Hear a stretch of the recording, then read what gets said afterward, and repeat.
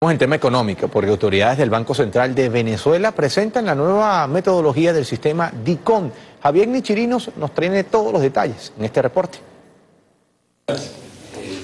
Gracias por el contacto. Tal como se anunció el día de ayer durante la primera jornada de trabajo del Consejo de Economía Productiva, este jueves entra en funcionamiento el nuevo sistema de tipo complementario DICON y para ello vamos a escuchar los detalles que va a ofrecer el presidente del Comité de Subasta de Divisas del Banco Central de Venezuela, Pedro Maldonado. Últimas semanas para entregarle al mercado privado de divisas que demandan divisas y ofertan divisas en el país, entregarle un mecanismo ágil, seguro, confiable, legal y rápido para hacer su operación de venta y de demanda de divisas o de monedas extranjeras. El nuevo DICON extrae del viejo DICON todas sus bondades y establece un mecanismo de, un, de una oferta privada de divisas que se va a calzar con una oferta pública de divisas y se va a generar un mercado privado de divisas, donde el oferente de divisas es decir, quien quiere vender una divisa la coloca en el sistema y quien quiere adquirir una divisa va por ella en el sistema. Eso lo voy a pasar a, explicar a continuación. Como ustedes conocen, la colocación de la postura no es más que la cantidad de divisas que estoy demandando y para la cual la declaración de impuestos sobre la renta me establece una serie de límites y la cantidad de bolívares que estoy dispuesto a pagar por cada, por cada unidad de moneda extranjera. Y en el caso de que yo sea un oferente de divisas o un vendedor de divisas, sería idéntico la cantidad de esa divisa o de moneda extranjera que quiero ofertar ante el sistema y la cantidad de bolívares que aspiro por cada una de ellas. En el medio del proceso, cada vez que la persona natural o jurídica realiza una postura, el sistema le pide a la institución financiera, es decir, a los bancos que participan en el DICON, si esos saldos, es decir, esas cantidades de monedas extranjeras o de bolívares que dicen tener, efectivamente están. Y aquí hay un elemento en este esquema que es distinto. Aquí se procede al bloqueo previo de los fondos que la persona está colocando en la subasta. En el anterior esquema no se realizaba un bloqueo previo porque era el Banco Central de Venezuela quien colocaba la oferta de visas ante el sistema. Hacer una oferta de visas ahora que es privada y que viene de actores privados, el sistema debe bloquear esas divisas o esas monedas extranjeras momentáneamente para que en el momento en el que la subasta se corre, los demandantes de divisas vean satisfecha efectivamente su, su, su compromiso de haber adquirido esas divisas. Sin embargo, en esta hay una distinción, no hay subasta de contingencia, lo que hay es una subasta donde existen oferentes de divisas que están colocando su postura por cada unidad de divisa a un precio determinado y hay un demandante de divisa que demanda al mismo valor o al mismo precio que el otro está vendiendo.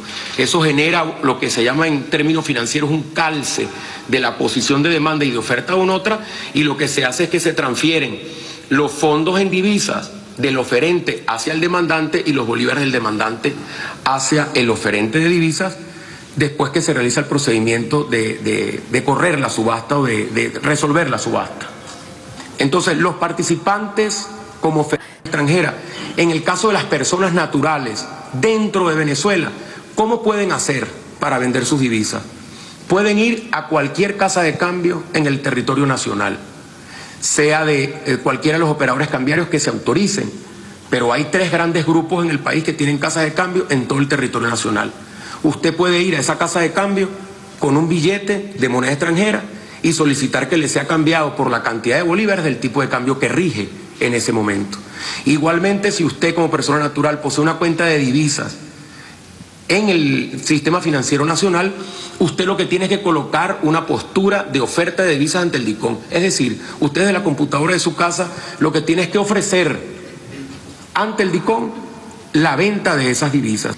En el caso de las personas naturales no domiciliadas en la República, es decir, los venezolanos que viven en el exterior, los venezolanos que viven en el exterior pueden enviar las remesas que requieren para hacérselas llegar a su familia, a su mamá, a su esposa, a sus hermanos, al grupo familiar, pueden utilizar todo el esquema a nivel mundial de casas de cambio y remesadoras que existen en, todo el mundo.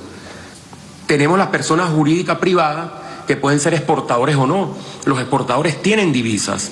Los exportadores deben venir a este mercado, deben venir a este sitio, porque aquí es donde pueden cambiar el 80% de las divisas que le quedan disponibles para cancelar la operatividad de sus compromisos dentro de la República. Los montos máximos a ser demandados por las personas naturales jurídicas es similar al esquema del DICON del convenio cambiario 38, o sea, es decir, el DICON que estamos derogando este, en el día de hoy. Las personas naturales tienen un acceso hasta 420 euros por trimestre o su equivalente en otras monedas.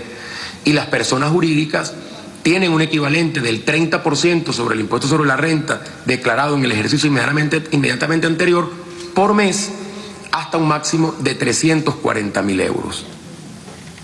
Entonces, a partir eh, de mañana se va a publicar el nuevo convenio cambiario que es el convenio cambiario número 39, que contiene las disposiciones del nuevo DICON que acabo de mencionar y que colgaremos en el portal web esta presentación para que ustedes puedan difundir mm, mucho mejor y más adecuadamente los elementos a los que, a los que nos referimos.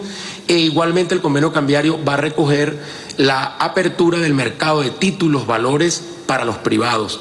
Es decir, cualquier empresa privada que requiera emitir deuda en divisa o en cualquier moneda extranjera puede ir a su casa de bolsa a estructurar su deuda y puede ir a la bolsa de valores bicentenario a comercializar, a vender su deuda, a recibir las divisas que necesita para poder desarrollar ese proyecto. Entonces estos son los elementos centrales que hemos desarrollado. Mañana en la mañana estará publicado el convenio cambiario. El proceso de registro ante el DIGON está abierto desde hoy en la mañana, como lo ordenó ayer el vicepresidente ejecutivo de la República, Tarek Isami, en el gabinete económico que celebró ayer en la tarde en el Palacio Blanco, y está dispuesto ya el portal para que las personas puedan ir colocando su postura, puedan ir realizando su registro.